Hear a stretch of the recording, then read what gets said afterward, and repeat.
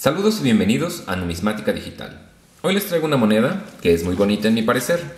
5 pesos de Hidalgo, de 1953. Coloquialmente era llamada Hidalgo Chico o Hidalgo Laureles. Esta moneda es de plata ley 0720, con 27.7 gramos de peso y 40 milímetros de diámetro. En el reverso podemos observar el busto de Hidalgo de perfil, haciendo referencia a Miguel Hidalgo en 1810 fue sacerdote de la parroquia de Dolores en Guanajuato.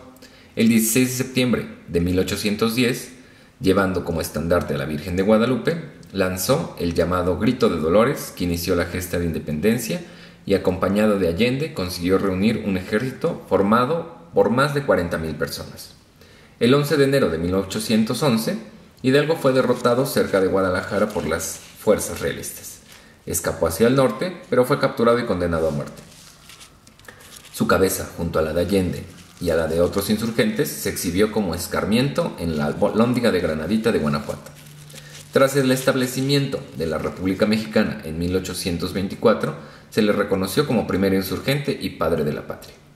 En el anverso observamos un diseño muy particular y bonito, la leyenda Estados Unidos mexicanos, el símbolo patrio en pequeño, pero gracias al gran tamaño de la moneda podemos observar todos sus detalles la leyenda 5 pesos, el peso 27.7 gramos sobre 9 y la letra G de gramos.